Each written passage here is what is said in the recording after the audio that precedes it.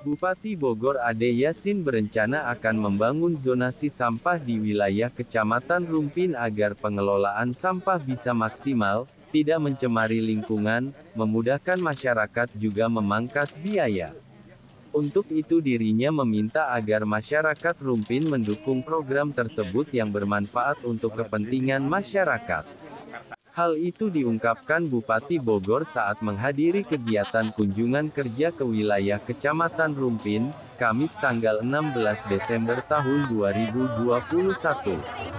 Ade Yasin menerangkan, rencananya di Rumpin ini akan dibangun zonasi sampah, karena sekarang sampah ada di mana-mana dengan adanya zonasi sampah tersebut, sampah-sampah tidak harus dibawa ke Galuga selain kejauhan juga berpotensi tercecer ke mana-mana. Sekarang pengelolaan sampah sudah modern tidak lagi sistem open dumping yang berantakan di mana-mana, tetapi diolah bahkan tidak menimbulkan pencemaran lingkungan dan tidak menimbulkan bau. Kalau sampah tercecer di mana-mana tentu akan mengganggu dan mencemari lingkungan, apalagi kalau infrastrukturnya bagus.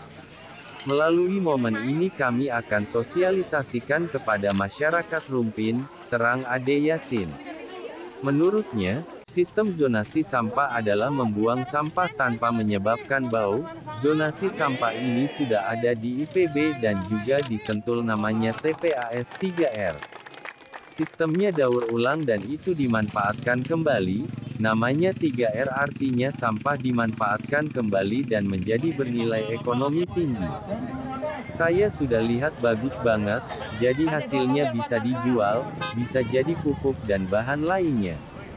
Semua habis, sampahnya diolah kembali, katanya.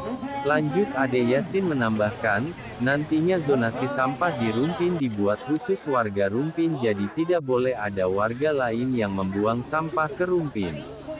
Khusus warga Rumpin saja, ini untuk mempermudah dan memangkas biaya, tandasnya. Untuk itu Ade Yasin meminta kesepahaman dari masyarakat untuk tidak ada lagi yang menolak, karena ini untuk kepentingan masyarakat. TPST sekarang tidak seperti dulu, sekarang sudah modern, diolah sehingga tidak menimbulkan polusi. Makanya saya perintahkan untuk lebih intens komunikasi dengan tokoh masyarakat, pungkas Bupati Bogor.